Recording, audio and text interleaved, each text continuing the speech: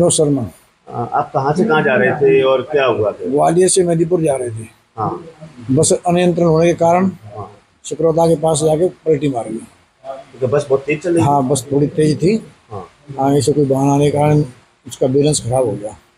आप लोग कितने लोग घायल हो गए? उसमें लगभग साठ सत्तर सवारी थी लगभग चालीस पचास सवारी लगभग घायल ही हैं।